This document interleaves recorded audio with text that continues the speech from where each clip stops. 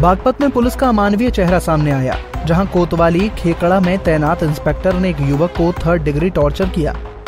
बताया जा रहा है कि इंस्पेक्टर राजकुमार शर्मा पीड़ित युवक से किसी मामले को लेकर पूछताछ कर रहे थे। इसी दौरान इंस्पेक्टर साहब ने युवक को थाने में ही फट्टे से पीटना शुरू कर दिया।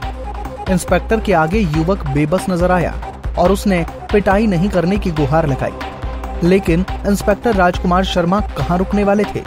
वो तो बिना कुछ सोचे समझे युवक को फट्टे से पीटते रहे। हालाँकि थाने में ही मौजूद किसी दूसरे शख्स ने घटना का वीडियो बनाकर वायरल कर दिया।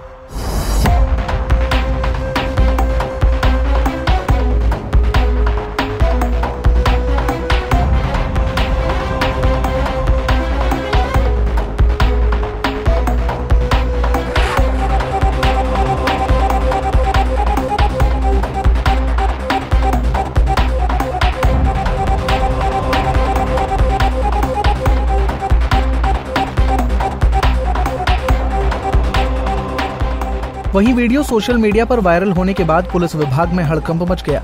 मामले में एडीजी मेरठ जोन ने बागपत के एसपी को जाँच का आदेश दिया। उन्होंने कहा कि दोषी इंस्पेक्टर के खिलाफ कार्रवाई की जाएगी। को बर्बरता से फट्टे बजाए जा रहे हैं और बिल्कुल परिसर में बजाए जा रहे हैं, जो कि एक मामूली मामला था। तो इस पर क्या कहोगे कि पुलिस का जो रवैया है वो पीट रही है वीडियो बन रही है उनकी? अगर अगर ये पुलिस के रवैये की बात है तो मैं कप्तान साहब से कहूँगा कि इस मामले की जाँच कराएँ और फिर जो भी जाँच का परिणाम होता है उस से कार्रवाई फ़िलहाल मामले में इंस्पेक्टर राजकुमार शर्मा ने पूरी तरह चुप्पी साध रखी है लेकिन वीडियो सामने आने के बाद एक बार फिर यूपी की कार्यप्रणाली पर कई सवाल उठ रहे हैं। बागपत से विवेक कौशिक की रिपोर्ट।